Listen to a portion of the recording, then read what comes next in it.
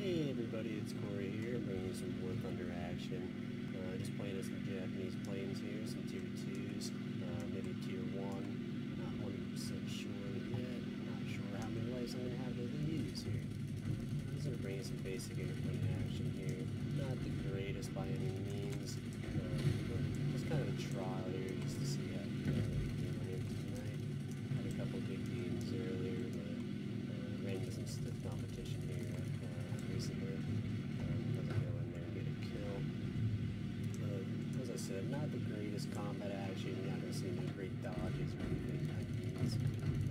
Been kind of getting used to this gameplay here.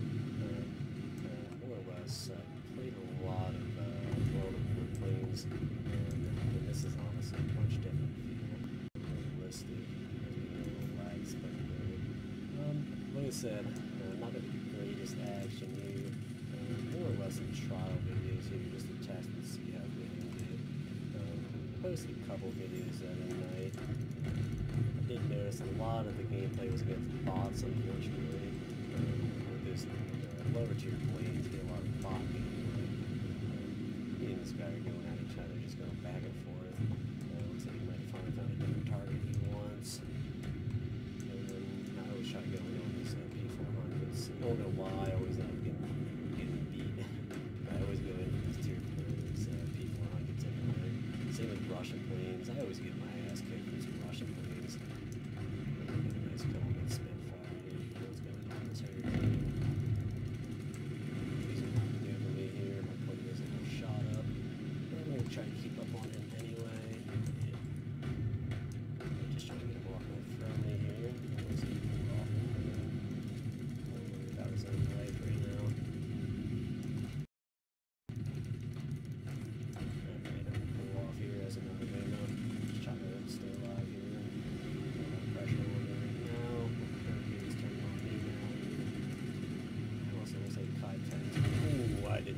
did not see that coming there.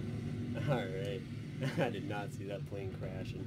Uh, let's go ahead and get a different plane going. Uh, I'm probably going to just move to the Kai 43-2 this time. Um, I've been alright with this plane. I actually prefer the Kai 43i. Not 100% sure why, if I'm being honest here. Um, I, I know this one has a lot better uh, roll action to it. Um, but honestly, that Kai 40, uh, the, first one there, some reason I just uh, have a lot of success, uh, success with that plane. Um, regarding this one, more or less, I feel like I try to go too much uh, into head combats there. I should definitely be trying to avoid them, kind of coming in at an angle, or just trying to get the uh, maneuverability on them, because that's what these Japanese planes excel at. Um, like I said, I always find myself trying to play like a German fighter still.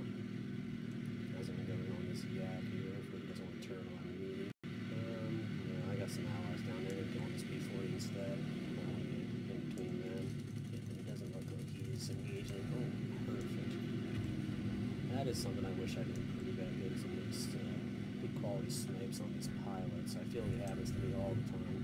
I feel like I never get it on the, I get it on the enemies here.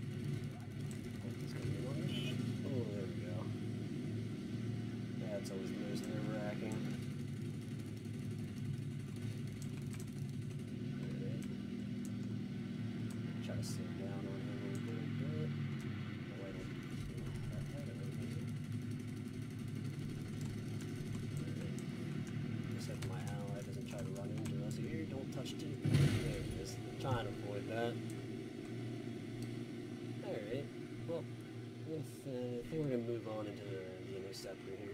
I actually do enjoy the interceptors. I try to use them too much like it's a, a normal fighter. Too much, I find myself doing. Uh, I'm always trying to use it with maneuverability, but these excel at just coming in from above, getting some quick strikes with those cannons, and getting back out of dodge. I do find myself recently um, kind of using them more to their advantage, especially especially in naval combat. Strafes on some boats and get back out.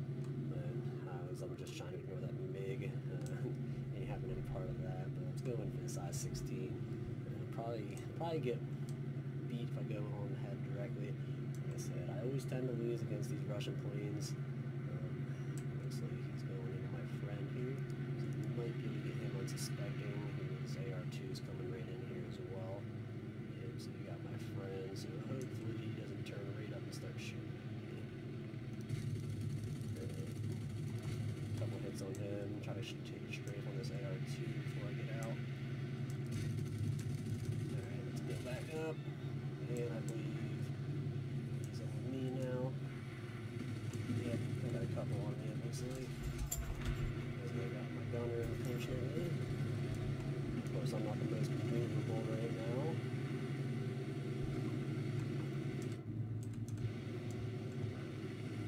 Alright, looks like we're pulling off. So I can kind of come down here and take some shots of this Spitfire who got me.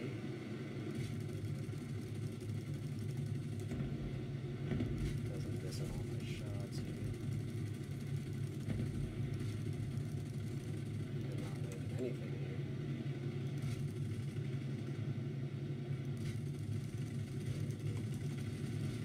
Couple more rounds. Alright, I'm pulling out of that. Gotta try to get some elevation. R2 looks like he's gonna be going down. Ignore that Do 17. Looks like the best combat chance is gonna be back over here where I was being shot at. Um, might go in on that I-16, just trying to watch the Spitfire, make sure it's handled. Reaching 100s on the I-16. Looks like Spitfire's outmaneuvering everybody I'm try to shake him off my friend here. Looks like that J-20 got him. So let's go for the size 16 here, hopefully. I'm not moving too fast right now. Well, decent strafe. Looks like we got each other on the hip. Might have a MiG coming in to engage us here soon. Hopefully my friend's get this guy off me. Looks like he might try to go for the this target. Yep, he's down, thankfully. Alright. My engines are just dying out at this point. I'm barely, barely flying. Uh, I'll just get a couple shots off on this yak, hopefully. Yeah, I can't even turn to him at this point. Alright. So try to turn around. I get shot down at this point. Might be better for myself. Yeah, we're getting Spitfire on us now. There we go. It was only a matter of time until that happened. I was just fighting the inevitable there. Looks like he's missing his wing. Alright, so he's gonna get some Kai 44-1 action. I've been enjoying this plane. More naval combat for some reason, fighting down or shooting down some dive bombers and fighters in naval battles. Um, normal fights, I find myself trying to engage a target that's around too many other targets and just getting many planes uh, on me here. Might pull up on this SPD-3 here. So it's blowing past everybody. We got BF-109 over here with us, so that's at least positive. From what I've uh, picked up on some tips, um, shooting, a lot of people shoot like right in the middle of the plane. You want to shoot towards like the right or left. Uh, just basically aim for the wings. There. You want to be aiming at those wings from what I've picked up on. Um, that's basically the weakest spot. If you're just shooting right in the middle of that plane, a lot of times you're just hitting more or less the bulky areas, not getting really much going on. Unless per se it's uh, bomber who's going to have maybe a turret there. That's going to be basically the only thing you can shoot on that also. So like said, you just want to the wings, uh, unless you can snipe pilots out, which uh, more power to you. Like I said, I feel like sometimes it's a little dirty to kill, but I mean, there's really no dirty fighting in this at all. Everything's everything's fair. Um, I'm just not the greatest myself at getting these snipes on pilots. Said, it does happen a lot in this game. It feels like um, I even try to boost my vitality the most in my crew. I'm just not really. It doesn't really seem like it changes much on me. I think I'm on this M1K one here. BF109. Uh, whichever one wants to stay in the back for me. Actually, I'll try to get BF 109. keep him off my friend here. Maybe a shot on him.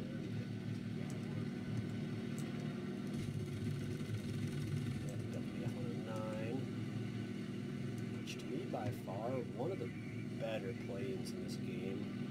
Um, just really depending on which BF-109, of course, because there's quite a few different ones. There's a collision with the BF-109 teammate. Let's go for this P400 here. Maybe I can bring it over. There we go.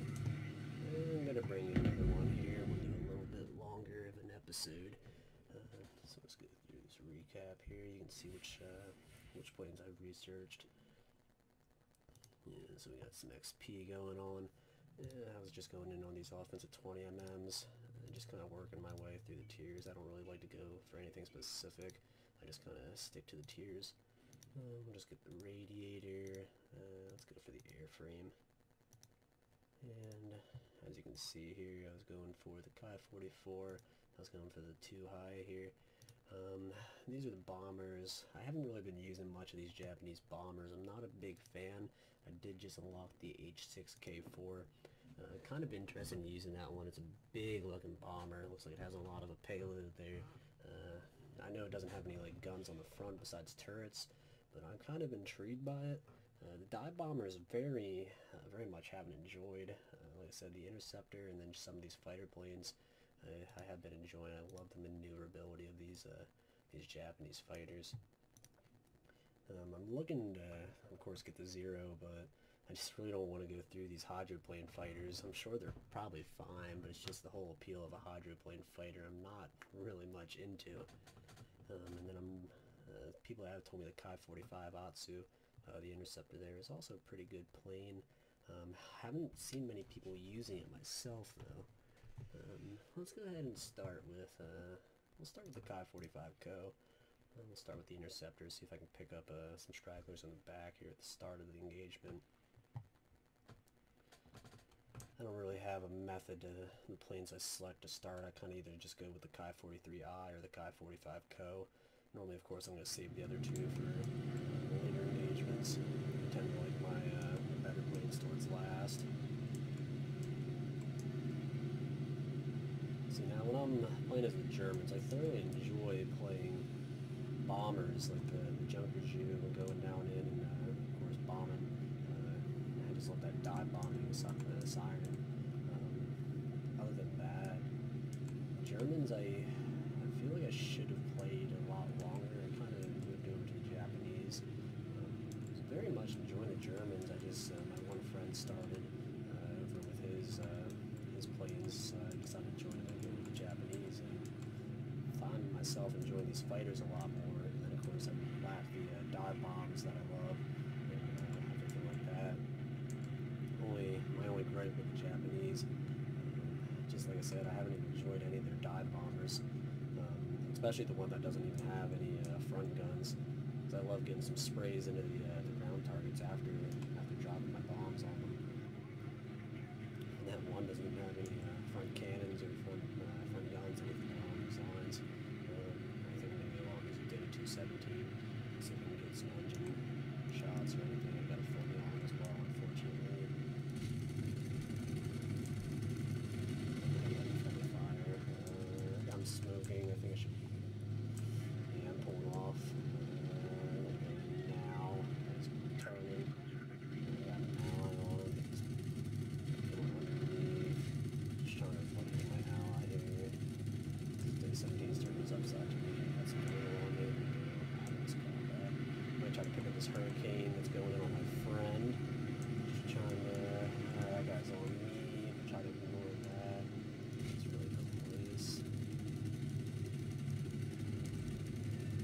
shots there. That should be a killer. At least an assist if he finishes him off. BF1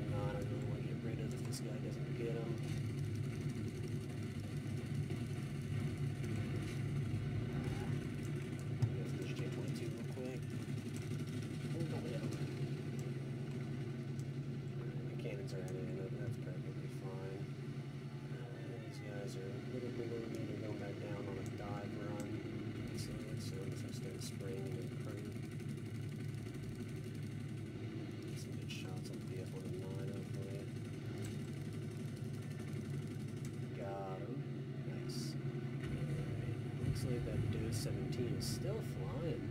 Um, he's just being sprayed into. The J22 is diving into the make it here.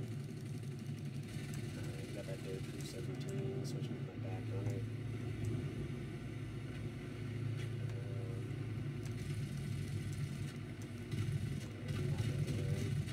he actually got the kill, thankfully. I'm gonna try to get a turn around, maybe I think that H112 should be taken care of. Let's go defend A.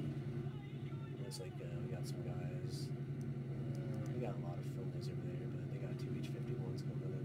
Uh, just a look around. I think we have enough people going for B. We should be able to take it. I just want to make sure we don't lose A. See if anyone's landing. One of these biplanes might try to make a landing. Maybe not. I think they're more focused on trying to kill my friends here. Um, if this Spitfire comes around, I might be able to get a burst on him. Oh, he's actually dead with the H51. Nah, I'm not gonna get him. Can't get these biplanes. I actually have a very tough time fighting biplanes, of course, because of their maneuverability. No matter what you do, if they get on your rear, it's honestly you can't shake them. As a good shot on there. Of course, they don't have any armor at all. Can't get a shot on them. Unfortunate. Uh, pull out here, see if my gun doesn't shoot at all. No. Alright, that's fine. Go around here. Go abandoned so it's a little quicker. Um, let's go ahead and uh, try. So, I'm trying to think which plane I want to go with. The Kai 43-2 first here before the Kai 43i.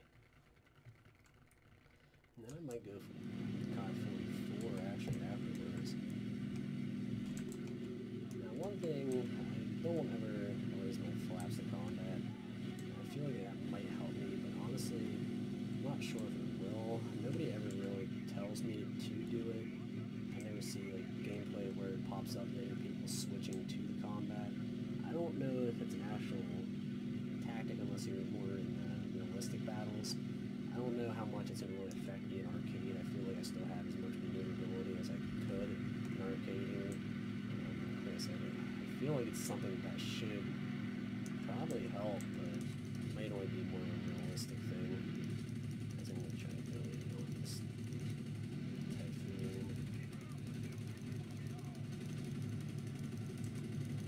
Hasn't been shot. Might have to pull off of him, get the whole shots and pull him off. Yeah, I felt the pressure by J22. Might be third. Oh, nice shot by him. So he went P36 he hit me before he went down himself. Alright, so we're gonna switch to 544, like I said. Um, see if I can uh, take down these guys. I think that J22s who got me time as well. The Swedish planes, I feel like always get me. Also, the Swedish planes are very good, especially uh, I think it's the J24 if I remember. The one that's very oddly shaped has the has the back fin. Um, very interesting looking plane. Just not your not your typical looking plane, I should say. Uh, but yeah, those Swedish planes seem to